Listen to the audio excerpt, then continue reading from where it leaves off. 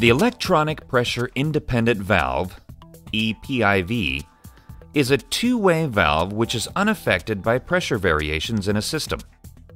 The EPIV directly measures flow by combining a magnetic flow meter and a two way control valve. The actuator has a powerful algorithm that modulates the control valve to maintain the exact flow based on the control signal set by the DDC controller. The flow reading is reported back to the controller using a standard signal. This value can be used by the building automation system to perform advanced control and energy strategies.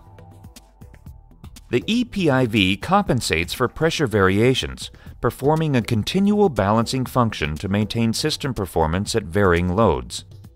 Precise flow control eliminates overpumping and provides favorable energy savings.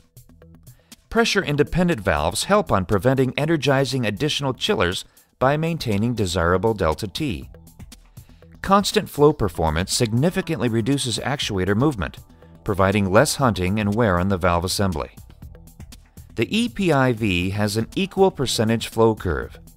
The equal percentage curve offers a more stable control for heating and cooling applications. The flow characteristic can be changed from equal percentage to linear using the Belimo PC tool.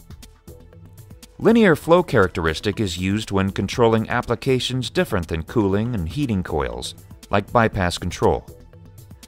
The EPIV is a valve designed specifically for HVAC applications.